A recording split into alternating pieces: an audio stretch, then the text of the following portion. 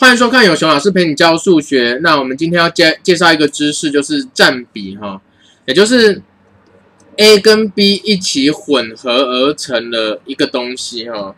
那这样子 a 占其中的多少呢？如果 a 跟 b 是本身是数字哈，也就是比如说五加八啊，混合成十三，那 a 占其中的 a 加 b 分之 a，b 占其中的 a 加 b 分之 b 哈。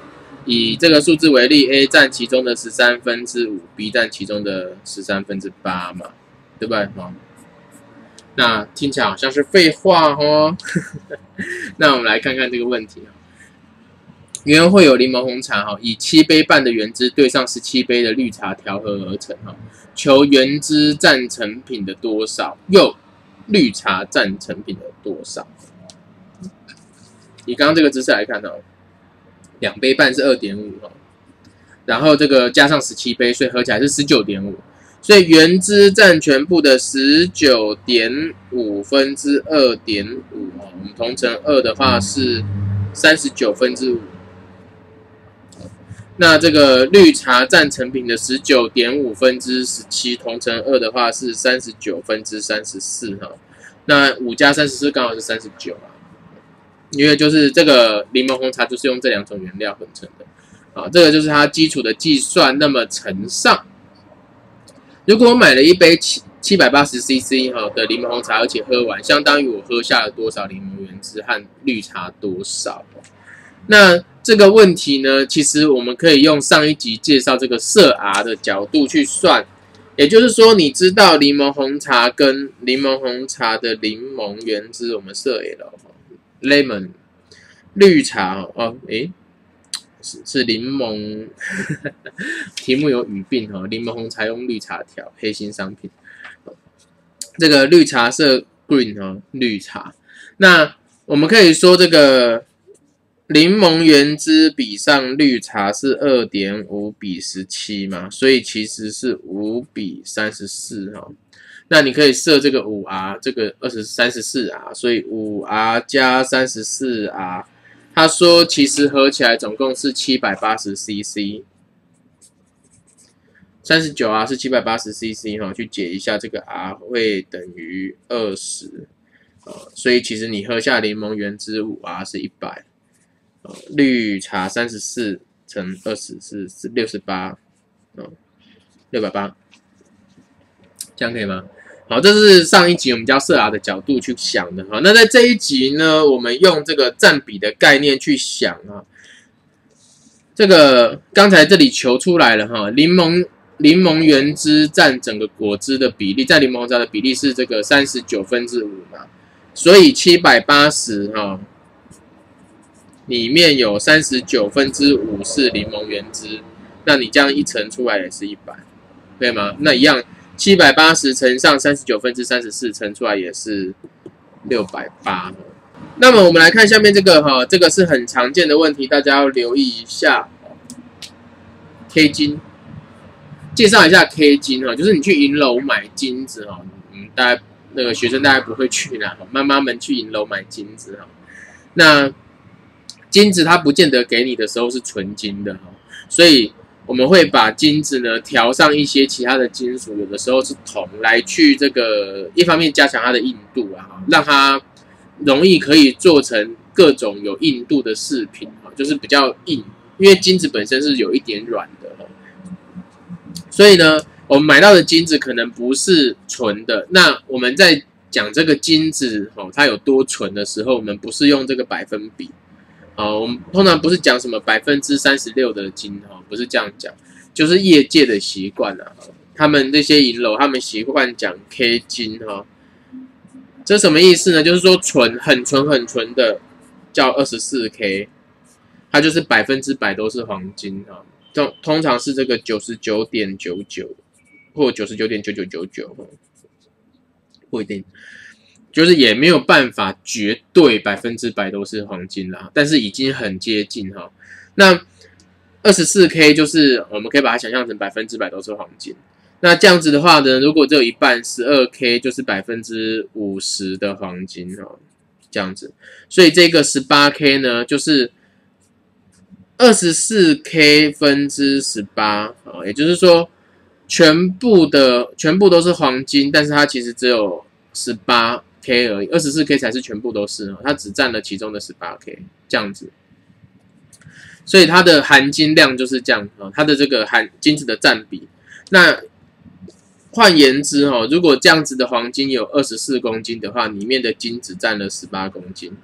那其他的金属占剩下二十四减十八哈，等于六，所以其他的金属占六公斤，这样子可以吗？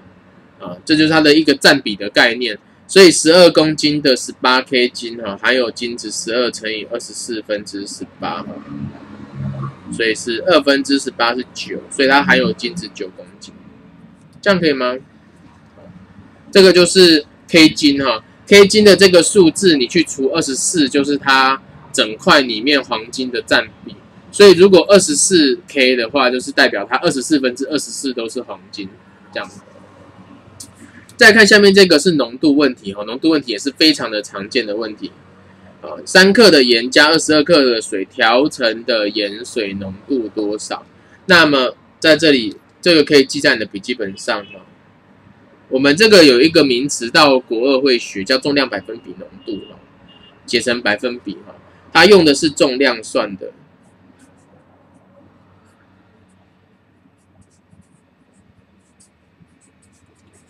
重量百分比浓度，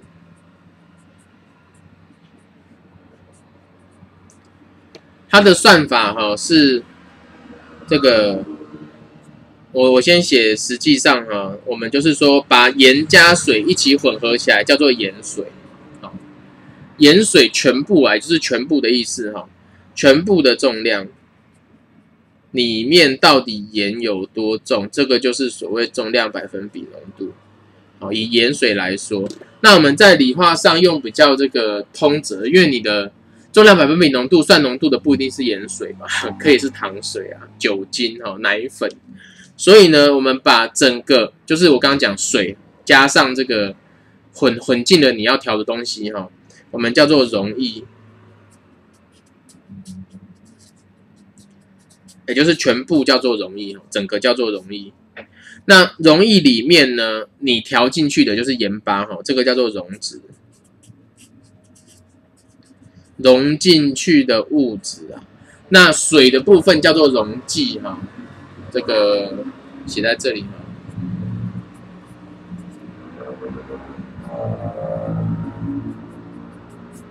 可以吗？好，所以这个重量百分比浓度用盐水重去分支盐的重量，所以在这一题的话，就是三克的盐和二十二克的水哈，调出来之后呢，总共重二十，诶，三加二十二分之盐占三哦，所以是二十五分之三。二十五分之三是百分之几啊？在这里教一个知识啦，老在这个以前学浓度哈，老师都会跟你说除嘛，除到变小数有没有？然后取小数前两位哈。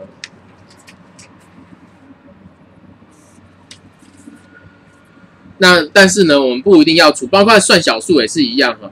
如果今天我问你这个二十五分之三化为小数要怎么写？你不一定要用除的，有没有这个三，然后二十五，然后零零一，不用这样子算哦。反正我们写成小数的时候呢，它的就等于是写成一个分母是十次方的分数，所以你把它变成十次方啊。这个二十五乘四是一百哦，所以它是上面下面乘四，上面也要乘四，所以它是百分之十二。所以是十二趴哈，或者你写小数的话是零点一二啊，这样子，零点一二。那但是这里有一个前提哈，其实这个我们在国一上的课程里有讲的，就是当你的分母本身哈约一约之后，只剩下二和五的次方数的时候，才可以这样做。为什么？因为一百本身十乘十哦，它这个十是二乘五嘛，所以。这个十进位的数字，它的分母就是二的次方乘五的次方所以，如果你的这个分数的分母也是二的次方或五的次方的话呢，你就可以直接这样子做。好，所以这个是十二趴哈。浓度的问题其实哈复杂起来很多变化，所以老师要确定学生是真的有懂这整个概念啊，而不是只是说哦，我记得好像就是拿这个除这个哈，不要只有降哦，因为如果降的话，到后面会一直错，然后他会挫败感很重哦。所以在还可以监控的情况下，就是我们刚学的时候，带学生多让他们多看几种不一样的思考，然后。要确认哦，要问他们是不是真的有听懂然后问最好的方法就是请他自己去说明哈，试着说说看为什么是这样算。比如说，我们来看几题哈，那十八趴的盐水有十六克，其中盐占几克？那这样子的问题哈，尤其像这种浓度的问题呢，这个我要提醒老师和学生们一件事情呢，就是我们。老也有熊老师教的方式哈，都是比较这个呃详尽的思考的模式。可是尤其到比例这个单元之后哈，你看我们从前面学过来，有一些题目其实它可以很快的就看出来可能是怎么样。那老学生们哈，在学校他看同学写，或看老师写，或在补习班哈，尤其补习班老师，他可能会让学生觉得他很厉害，所以他。他会追求解的很流畅，像这一题哦，这个十八趴盐水有六克，其中盐占多少？他就写了这么一个十六乘以十八趴哦，等于这样子就算哦，就算出来了这样子哦。那这样子的话呢，学生就会想说哦，所以要乘十八趴。其实呢，为什么要乘十八趴啊？他也没有讲啊。那这一题乘的这一题是这样做，下一题就是这样做吗？也不见得。所以呢。我们要要去想它，要去想清楚啊！在这里呢，我建议是这样子做哈。我们的题目其实有两个角度可以去想，一个用这个浓度的观点来想，一个用溶脂，就是这个盐巴的观点来想哈。如果用浓度的观点来想的话，刚刚讲浓度是怎么算，你们还记得吗？哈，我们把这个刚才写的拉来拿来这里哈。这样子的话呢，浓度呢，它是这个。它的定义就是整个东西的重量分之盐巴的重量，所以用浓度的观点来看，最后这个盐水是十八趴嘛，所以盐哦加水分之盐是十八趴。那这个十八趴呢？他说这样子的盐水有十六克，这个十六克指的就是整个盐水了，所以它是十六克分之。盐不知道多少，我们不写单位哈，以免看起来有点乱。十六分之盐巴不知道多少哦，设个比如说 x 哈，十六分之 x，结果算出来是十八趴，十八趴就是百分之十八了，这样去解 x 嘛，对不对？那你会发现哈，这个 x 就等于这个一百 x 等于十八乘十六哈，所以。所以 x 其实是这个十八乘十六除一百，那其实就是你看我们刚刚说哈，它就是十八乘十八除一百乘十六嘛，所以没有错哈，这个这一题这样算没有错。可是问题是学生他知道为什么他要这样做吗？对不对？好，那我们来做这个哈，这个 x 是这个的话呢，十八乘十六，嗯哼。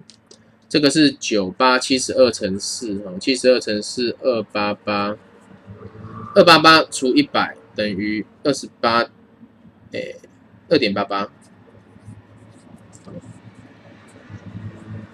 对吗？所以这个就是二点八八克。这个是用浓度的观点来想，就是说最后浓度是十八帕。那什么叫做溶质的观点呢？啊，就是我们把这个。这个浓度等于哈溶质溶质重除溶液重哦，浓度等于溶液重分之溶质重的这个想法呢，把它这个我把它这里写等于浓度哦，你可以把它这个溶液等等号两边同乘哈，所以溶质呢，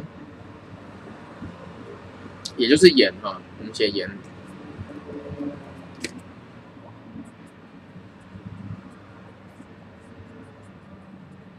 盐它会等于盐水乘上浓度，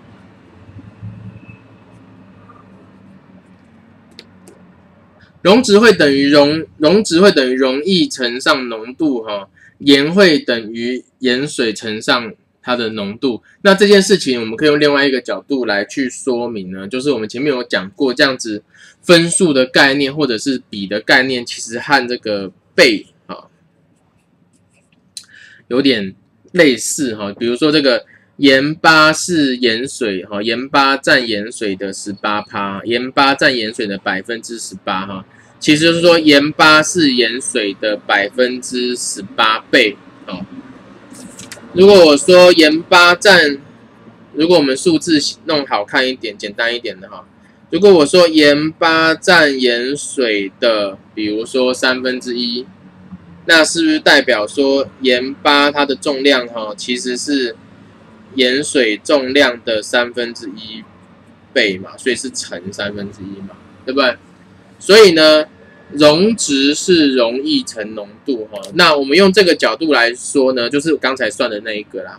所以说盐巴哈，盐巴的量其实就是这个十六乘十八帕哈。那算出来应该还是这个数字。来看第二题哈。八克的盐，如果要调成十二趴的盐水，要加水多少克？那你能够回答这个问题吗？啊，那这个问题呢，我们一样，如果你要的话，你可以算算看，先算算，按暂停算一下。那我们来解它这个问题呢，我们一样分两个浓度的角度来看的话是，好，浓度最后是十二趴，对不对？所以我就不再写了哈，我们看上面就好了。所以盐加水分之盐是十二趴哈，盐是八克，水就不知道嘛，所以水设 y 哈，八克加 y 分之八克，结果是十二趴，是不是这样啊？那十二趴这边可以约一约哈，这个是哎算了不约，把它乘过来哈，所以。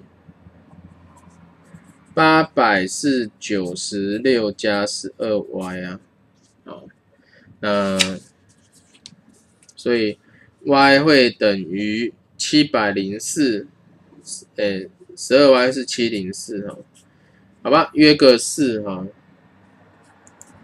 三 y 是这个一七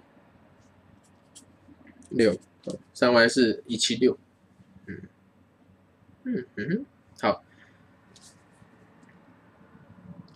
所以 y 是三分之一七六哈，这样子，那就写分数哈，算出来的分数就写分数，这样可以吗？这个是浓度的观点。那如果是溶值的观点呢？好，我们可以用溶值的观点来算哈。所以说盐巴好。就是八克，八克它会是盐水不知道多少哈，那这个我们设 x 不知道多少乘上十二趴嘛，所以我们就可以把 x 求出来喽。哦，同样的，我们把十二趴写成分数，这样你们在计算这个方程式会比较好算。所以十二趴是百分之十二，所以等号两边同除百分之十二，就同除十二，同乘十二分之一百哈。所以 x 等于十二分之八乘一百，约掉是三分之两百。换句话说，最后盐水其实是三分之两百克，那里面有八克是盐啊，所以水占多少？三分之两百减八哈，等于三分之两百减二十四哈。也就是说，三分之一七六是水跟上面算的一样。你看，用这个角度去算呢，两种思考路径哈，那就会有答案。那老师在教的时候，一定要跟学生说明白，就是说我现在这么算，是因为我用哪一个方式想，好，不要让学生只有看到这样子哈，就是说拿这个就乘这个哦，这题呢，这题就是哦，十六乘十八趴。那这题呢，这题就是搞不好这个，你看像我们这一题，它其实是怎么样算出这个盐水的？我们其实是拿八除十二趴嘛。对不对？八除以百分之十二，哈，算出这个三分之两百。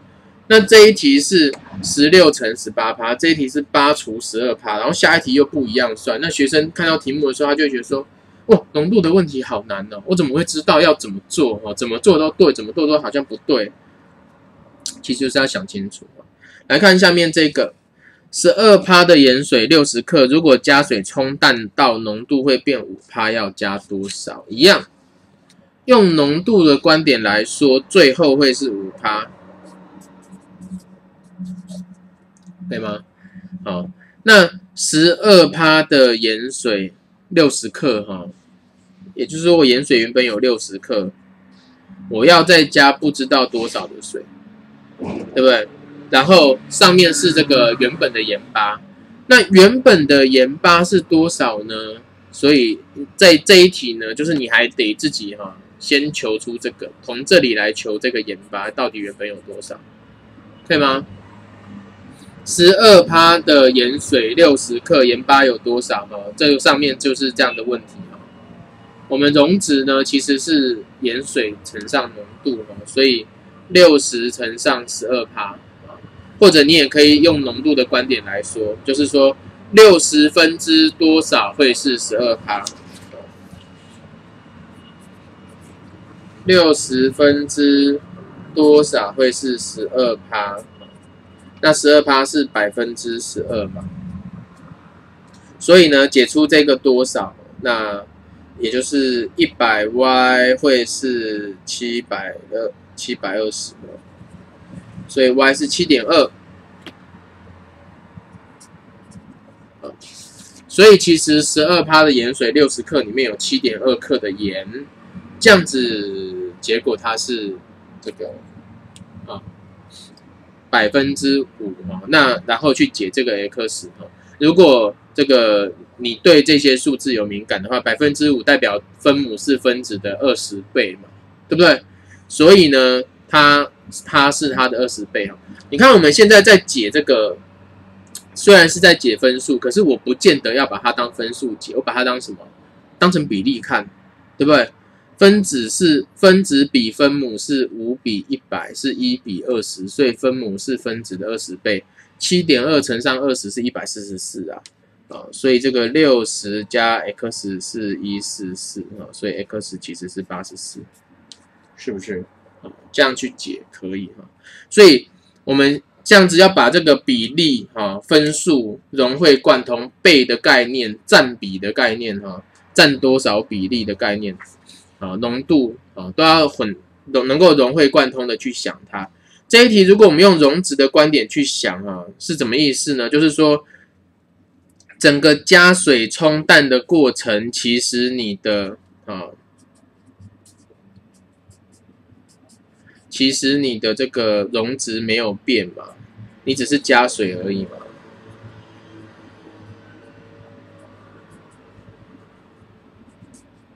对不对？也就是说，原本的溶质有多少呢？原本的溶质，我们刚才说是这个六十克乘上六十克里面，它占了百分之十二是溶质，所以六十乘上百分之十二。在新的这个容易里面，它占五趴。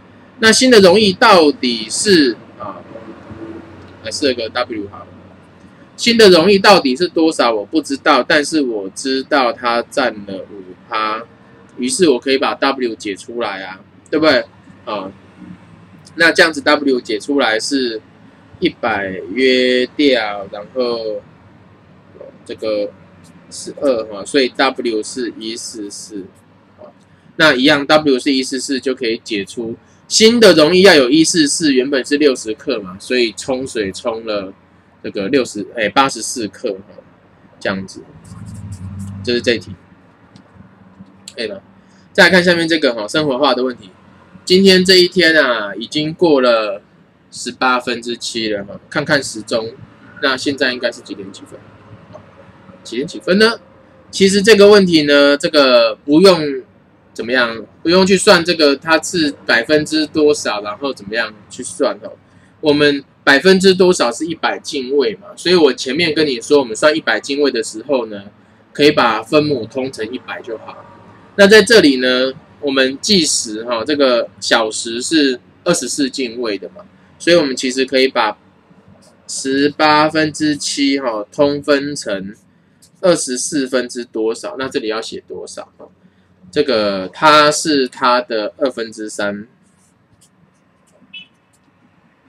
对不对？它是二十四是八的二分之三哈，这就是我们比的概念呢。七比八是多少比二十四？所以那就代表七比这个多少会是十八比二十四哈，七比十八哈，刚刚念错。所以二十四是十八乘上二分之三，所以七也乘上二分之三，会变成是七乘三是二十一哈，除以二是十点五啊。所以现在已经是十小时半了，十点三十分，可以吗？最后来带大家看这个问题哈，在一年级的男生里面，双眼皮占八十八趴，其余是单眼皮的；女生里面，双眼皮占九成，其余是单眼皮的。如果男生单眼皮的有三十三人，女生单眼皮的有三十一人哈，请问一年级学生共几人呢？那这一题其实不太难算，就是说这个双眼皮占八十八趴，其余单眼皮，所以单眼皮占多少？占十二趴嘛，对不对？女生里面双眼皮占九成，也就是九十趴，其余单眼皮，所以女生里面单眼皮是十趴。那男生的单眼皮三十三个，也就是说十二趴是三十三个，那全部男生是几人？全部男生，所以十二趴哈，男生这个设啊，一年级。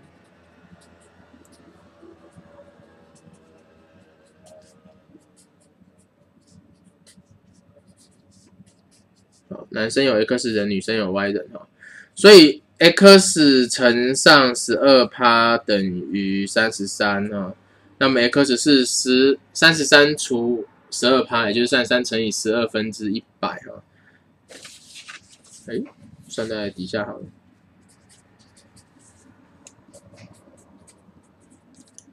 约三，约四，二七五。所以男生有二七五人，那女生呢？女生有十趴是单眼皮的，这样子是三十一人哈，占一层，所以全部其实是三百一十，好像应该很好算哈。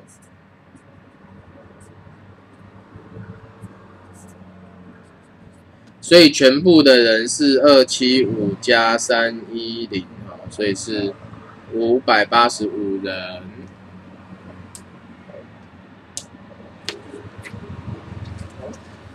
那这是我们这次的作业。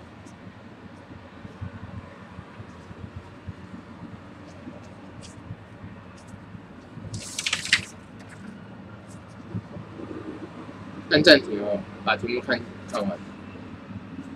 好，那我们今天课上到这里。